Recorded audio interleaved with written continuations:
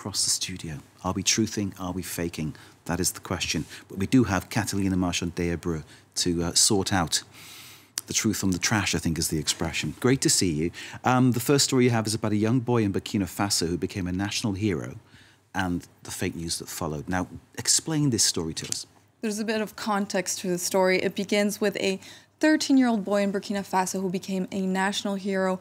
Eyewitnesses say that he supposedly shot down a French military drone with a slingshot. He goes by the name of Aliou Sawadogo. And here's a video that someone posted of the moment that this drone was allegedly shot down by this boy. People were euphoric about it and called him a national hero. This a Twitter user even compared him to Thomas Sankara, who is the country's revolutionary hero as well. Here's more images of the moment, and here's the boy that shot down the drone. Uh, it's important to point out there are no official reports that he shot down the drone, so this is a double uh, double fake news type of segment. But what happened is that days later, there were posts like this.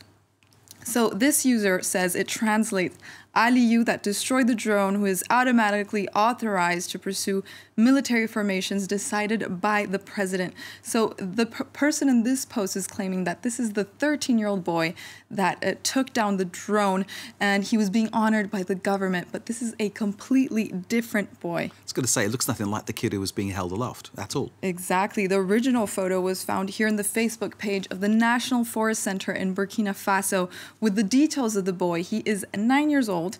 His name is Emery Junior Bazongo, and he was a special guest during a ceremony of this association. And as you well confirmed, uh, both boys don't look anything they look alike. Very different, Mark. don't they? Absolutely ridiculous, isn't it?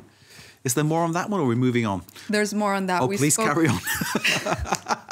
Sorry. So yesterday, our journalist Anthony Saint-Léger spoke to the boy's mother, Georgette Nikiema. She explained the reaction of the boy after he learned about this story by his classmates.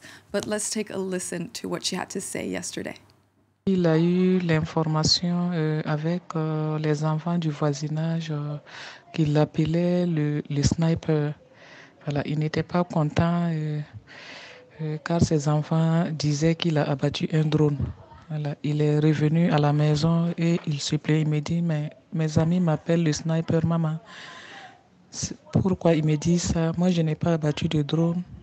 Ça lui fait un peu honte. Je l'ai un peu rassuré et lui expliqué. Yeah, Mark. So this is a special occasion and a rare occasion where we get to see the consequences of this type of misinformation online, and we get to see what's behind the post. This was a nine-year-old boy who was embarrassed at school because people were calling him the sniper, and he fake news had nothing to do with within it. fake news. It's uh, remarkable what some people are motivated to put online, isn't it? Catalina, thank you very much indeed.